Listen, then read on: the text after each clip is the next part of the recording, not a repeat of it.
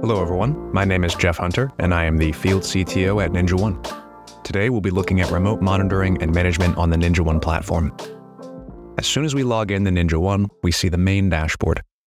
This gives us an immediate view of our environment's overall status via the device health tile in the dashboard center.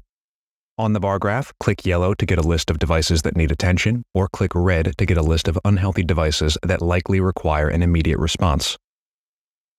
From the top level dashboard, we're able to view, manage, and reset customizable alerts, monitor for threats as detected by integrated antivirus, and of course, manage patches for both the operating system in addition to third party applications. On the dedicated operating system patching dashboard, there are a variety of patching metrics that show key information, like devices with outstanding patches, the devices with many outstanding patches, and in the middle of the screen, a tile where failed patches and pending patches that require approval can be found. We can click through to see the reason a patch failed, or in the case of pending patches, click through to see the patches that require approval and either approve or reject them. Of course, in the event of an inadvertent approval or rejection, that action can easily be undone. On the Patching tab, there's access to the same pending, approved, rejected, and failed workflow for third-party software application patching that we just saw for operating system patching. An additional option for software management is the Inventory menu, which displays detected installed software with the ability to initiate a quiet uninstall on Windows machines. The Backup dashboard, which is reserved for Ninja One Backup, displays usage and recent backup history. Ninja One Backup supports file folder backup for both Windows and Mac OS, and also supports full image backup for Windows. The Activities dashboard shows all Ninja One logs, including actions Ninja One has taken, like running scripts or installing patches, or when customizable alerts have triggered. At this level, system actions made by Ninja One technicians would also be visible for auditing and tracking purposes. If we return to the main dashboard overview, on the left we can see the different organizations that are being managed in this environment. If you click on an organization, you'll see all devices within that org with the ability to quickly take an action while using the play button. This could be running an automation, installing an application, scheduling a device reboot, starting a remote screen share, or using remote tools like a PowerShell terminal session or the remote file browser to upload and download files. Before we go further, let's talk about how Ninja One works. Ninja One is agent-based, and new installers can be generated in the top right via the plus sign. After generating your installer, you can deploy using your current application installation tool or for on-prem Active Directory environments, you can install the agent on the domain controller and push to specified OU paths via the Ninja One console. Once installed, the device only needs to be online and connected to the internet, and it can be managed from practically anywhere in the world. After installing the agent, how is the device going to be managed? Within Ninja One, common settings are managed by a device's policy. A policy includes conditions that generate alerts patching settings for both the operating system and third-party software applications, scheduled automations, and deployment of integrated antivirus. Policies can have parent-child relationships for ease of use when managing all these important settings, and individual line items can be modified to override inheritance. Let's look at the settings inside of an individual policy. Conditions are what generate alerts and tickets inside of Ninja One. You can use templated conditions that are pre-made,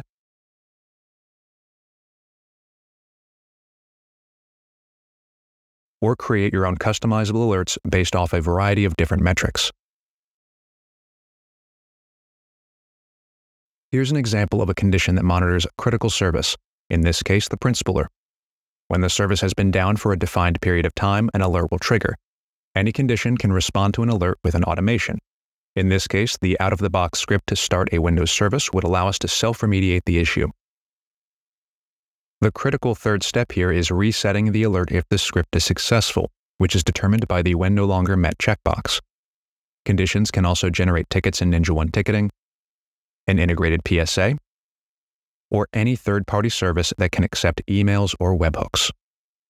Operating system patch management is based on two distinct schedules, the scan schedule, which identifies outstanding patches, and the update schedule, which does the heavy lifting of downloading and installing whichever patches have been approved. Patches can be either pre-approved or pre-rejected based on category, or require a manual level of approval, which we saw earlier on the dashboard. After the update schedule installs the patches, a reboot will typically be required. Ninja One will place an indicator on each device that requires a reboot, but the reboot options can help facilitate this by prompting the end user to reboot or automatically rebooting. The software menu on the left is for third-party software application patching, and the overall workflow is almost identical to operating system patching. There is an additional tab where the software you wish to be patched can be selected. In addition to selecting software and setting patch approval settings, there's also an option to install the full version of the application if it's missing. Note that this is not possible with every application, but there are separate ways to install applications that we'll talk about right now. Other policy settings would include deploying an integrated AV or EDR tool, the ability to schedule automations that run across the machines assigned to this policy, and additional alerts provided by activities. Leaving policies and navigating to the automation library, we'll see options to create new scripts or import scripts from either your own computer or from the template library, which contains scripts created by engineers intended to address common issues in the IT space. Ninja One supports Batch, PowerShell, VB Script, JavaScript, and Shell Script as languages. Ninja One also supports uploading application installers under 1 gigabyte for deployment with the ability to include helper files or pre-post scripts for an all-inclusive automation. At the top of the screen is the global search bar that allows for quick searches for a variety of criteria, like the device name or the current logged-in user. There's a handy play button for quick actions on devices like initiating scripts, reboots, patch cycles, or remote access sessions. Clicking on the device takes us to the device level. Looking at the device, there are hardware performance metrics on the left-hand side, and in the center we can see general device information, such as the device model number, serial number, or the current idle time. Below that, any current running actions or device health indicators will be visible. The right side will contain device activities with a tab for adding to the notes feed. At the top, we have a device quick bar that allows the device to be favorited, the familiar play button to take actions, and a remote CLI icon to activate a completely silent terminal session. Remote access sessions are also initiated via a dedicated icon. Let's initiate a remote access session using Ninja One Remote. Once the session is initiated, a variety of options are available at the top of the screen for sending keystroke combinations, starting file transfers, pasting from the clipboard, or remotely printing.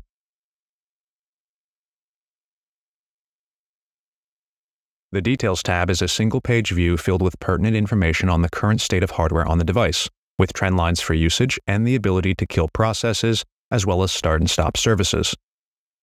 Actions like those can be taken from the Tools tab, which also allows remote registry modifications, file transfers, and on domain controllers, Active Directory user management. Now that we've seen the individual device level, let's zoom out to the Devices menu, which is accessible via the left side navbar. The Devices menu allows for bulk actions to be taken on groups of devices.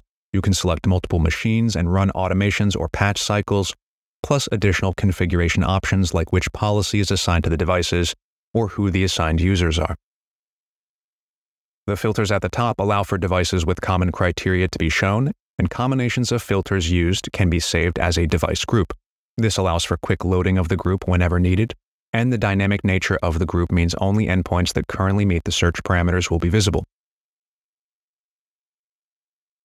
For example, if using the up filter to indicate an online device, any offline device would be automatically excluded from appearing within that group.